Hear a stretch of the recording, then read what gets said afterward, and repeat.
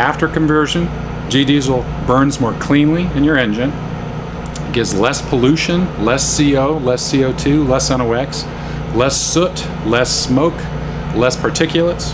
It burns cleaner in your engine because we've gotten rid of the long chain alkanes and converted them to shorter chain alkanes that a diesel engine prefers.